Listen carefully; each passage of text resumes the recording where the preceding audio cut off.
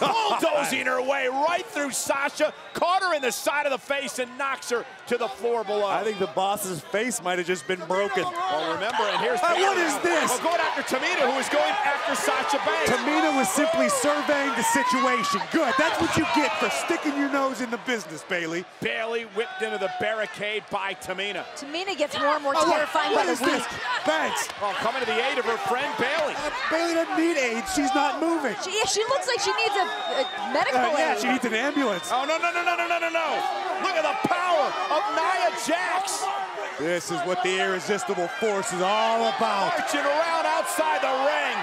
Incredible display by Nia. She's out in the WWE. Oh! Banks tossed right out of that equipment case. Ruthless. And Nia just keeps on moving forward. Look at this. Look at the power of Jax. Uh-oh, uh-oh. And oh, and for the face breaker.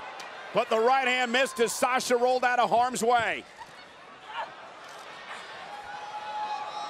Uh, Again, the power Oh, of Nia God. Jax turns Sasha Banks into a Samoan drop.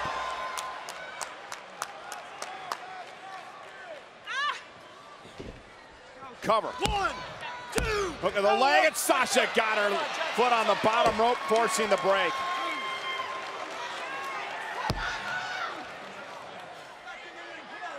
Back up to the apron. What does Sasha do here? Sidestep, post. Goes Nia. Now who's got that ring awareness, Graves?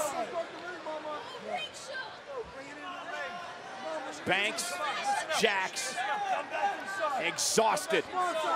Time to dig down deep. Critical moment in this match.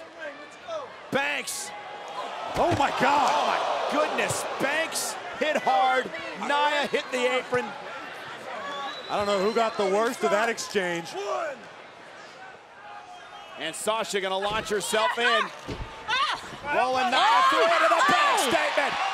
Banks with a great move into the bank statement, middle of the ring. Is Jax gonna tap it? She oh does. Sasha Banks is going to the Rumble.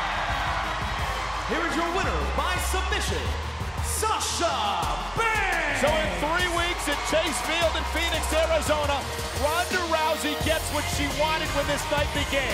To defend the Raw Women's Championship against Sasha Banks, who had an incredible victory tonight over Nia Jax.